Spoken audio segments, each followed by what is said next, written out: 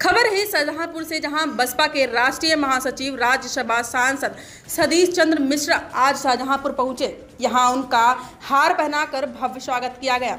विधानसभा जलालाबाद 132 से बसपा के विधानसभा प्रभारी अनिरुद्ध के पीसी यादव ने प्रदेश महासचिव, राज्यसभा सांसद सतीश चंद्र मिश्रा का चांदी का मुकुट पहनाकर स्वागत किया।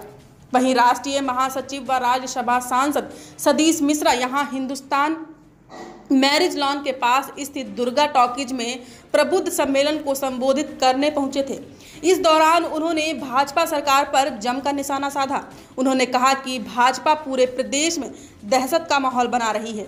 यूपी में ब्राह्मण सरकार के निशाने पर उन्होंने कहा कि प्रदेश सरकार धर्म और धर्म स्थलीय के नाम पर जनता को सिर्फ़ गुमराह कर रही है। उन्होंने कहा कि यूपी में हालात बहुत खराब हो रहे हैं। लोगों को दबाने और डराने, धमकाने का काम चल रहा है। खास तौर से ब्राह्मण समाज के लोगों को यह जानने की ज़रूरत है कि उन्होंने साफ़ लहजे में कहा है कि प्रदेश में जब से भाजपा सरकार बनी है, तब से भाजपा के निशाने पर ब्राह्मण समाज आ गया है। उन्होंने कानपुर, लखनऊ, झांसी, बलिया, उन्नाव सहित तमाम शहरों में हुई घटनाएँ, इनका ज्वलंत उदाहरण दिया है।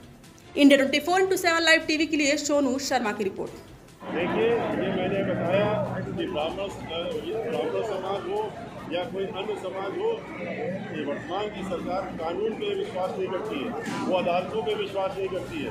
अदालतें बंदी करवा देना चाहिए इनको। अगर खुली अदालत है और ही निर्णय ले लेते हैं और एनकाउंटर करके मार देते हैं तो ये इस सरकार की प्रक्रिया है। जिसको जिसका विरोध पूरे देश में हो रहा है और उत्तर प्रदेश में ब्राह्मण समाज को खास तौर से